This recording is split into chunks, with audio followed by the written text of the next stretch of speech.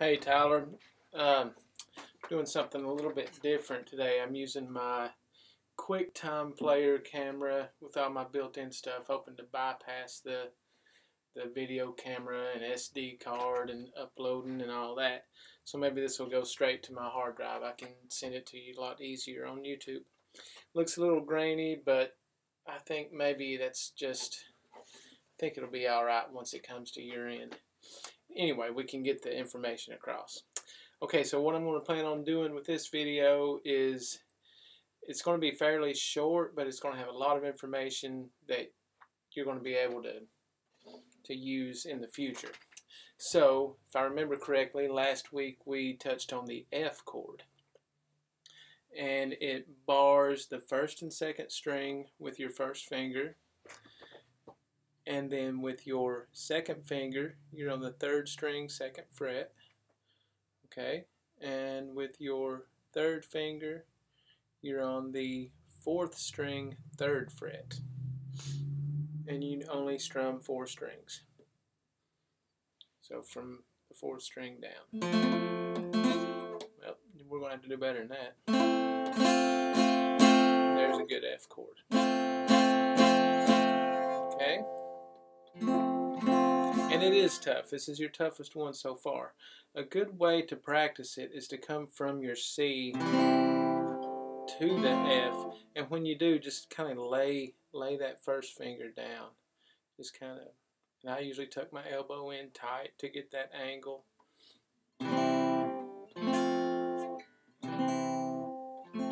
So you can do that about 20 times. You could pause the video right now and just come from C to F. Okay. now another approach. We may come come to this from. Uh, uh oh, telling me I've got a low battery.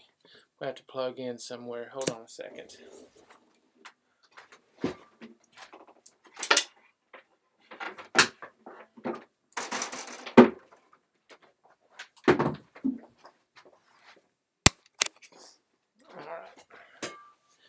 Should be okay now.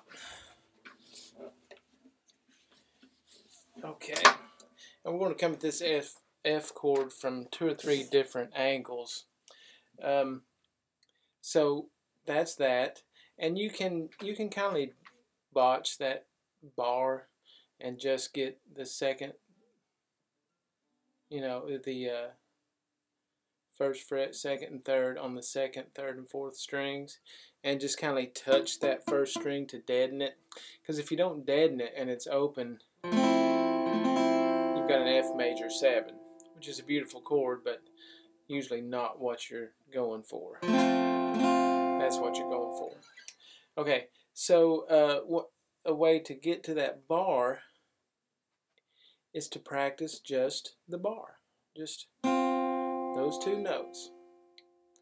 And I can't remember if we've done Smoke on the Water, but if we have or if we haven't. If, if I have taught it to you, I probably taught it to you on one string going 0, 3, 5, 0, 3, 6, 5, 0, 3,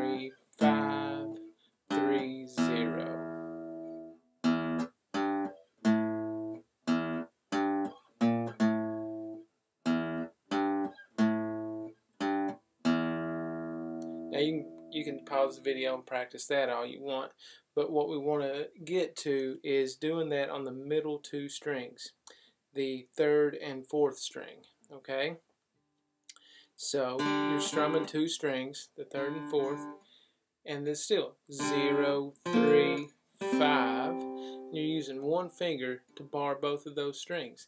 That's helping you practice for this bar on this F chord. So zero, three,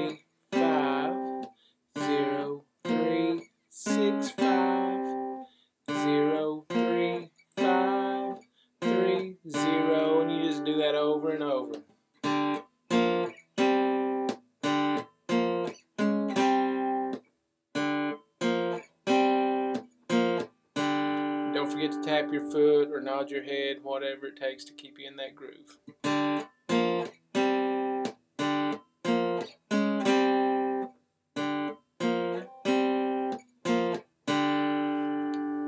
Okay. All right. So that's helping you learn that bar. Another cool little riff that I'm sure we probably haven't done is the main riff from um, uh, uh, Bad to the Bone. So same strings, actually the same frets, but it's 0, 5, 0, 3, 0, but way faster. Or, yeah, there you go. And if you can kind of slide into that 5, even better.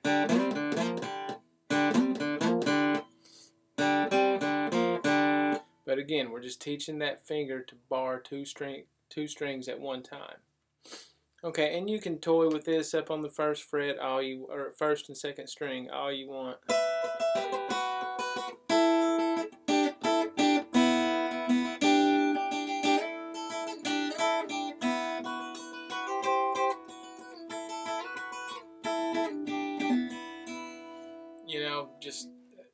Always just anytime I'm trying to learn something new, just make stuff up with that technique. So there's that. Now we had talked a little bit about um, heart, crazy on you. So let me give you the pieces to that this week, and that'll be your fun, fun riff that you do.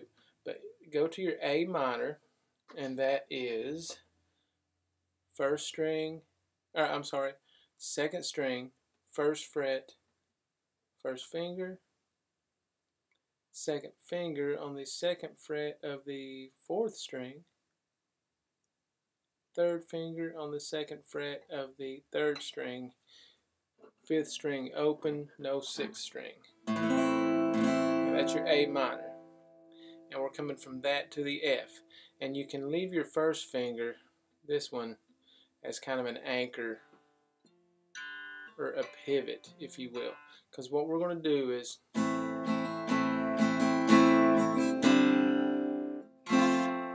and then to the F. So we're just going to catch a few of those strings open.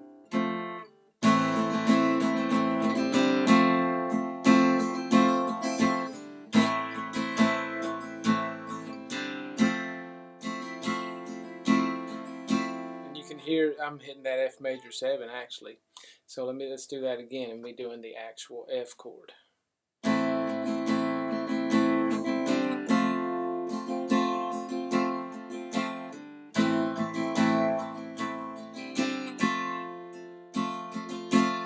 Okay, so that you can do that all day long. Get plenty of repetition on that A minor to F, and I trust you've probably already been doing that this week. So let's add the rest of the riff in. So um, come from your G note, not a G chord, but a G note, right here on the third fret, sixth string, and that's below A. and that's my A string, fifth string open. Okay. Now, I'm just going to come from the second fret of the fourth string, and it will help you to use your second finger. In this open position, you want each finger to be responsible for a fret, for the most part. Of course, you can't always stick to that, but if you can, second finger, second fret, first finger, first fret, third finger, third fret, fourth finger, fourth, and so on. So we're on the second fret, fourth string, open. Now I'm walking down from third fret, fifth string, second fret, fifth string, open fifth string, and then I just fall into that F. So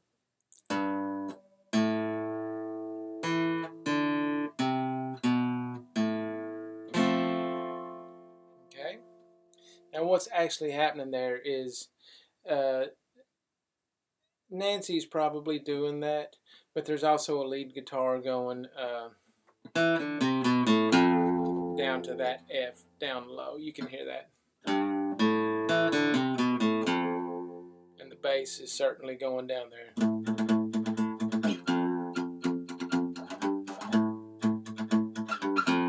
Right. But for acoustic guitar, that we're just playing, trying to cram all the parts into one guitar.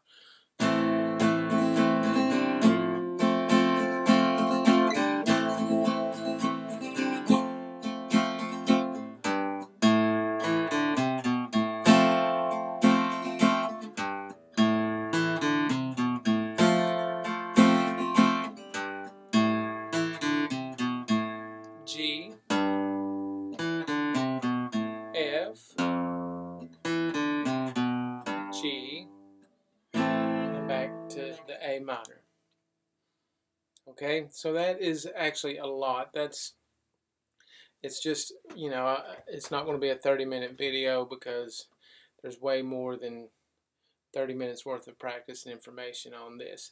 But one thing you do need to not forget is to go over all your chords every day.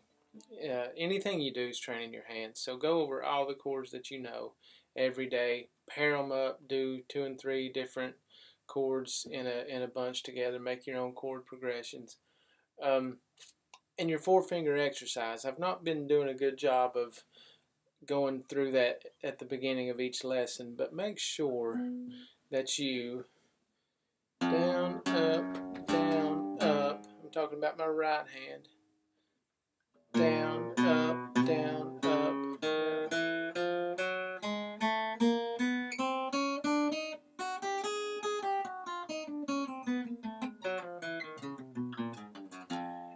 Can do that if if you're that good at it, you can do that on every dotted fret.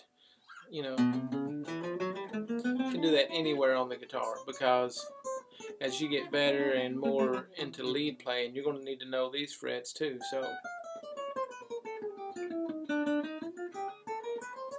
so do that all over the guitar. And uh, the other was your pentatonic scale. And just a reminder of that, we'll start that on A.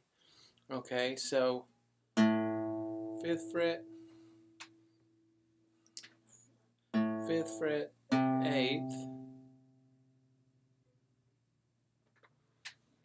Am I even recording right now? Oh, yes, I am.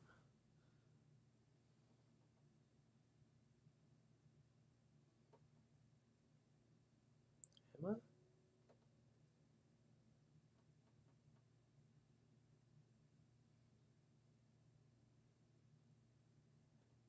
Yeah, okay.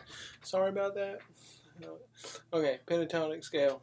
Um, five, eight, and that's going to be your pinky because remember every finger is responsible for a fret. Five, seven, five, seven, five, seven, five, eight, five, eight, and backwards. Eight,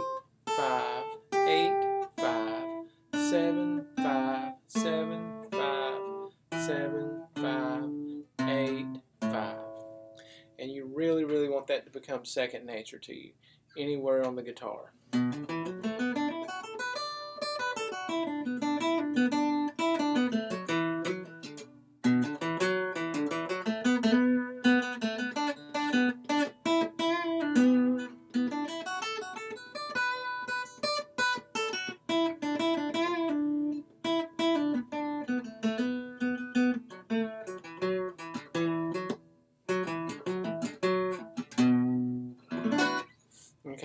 So that should be enough to keep you very busy this week. So you got your heart crazy on you riff. You have all the different ways to practice your F chord. A couple of those old classic rock riffs, training that first finger to bar two strings at once. And your pentatonic scale, four finger scale.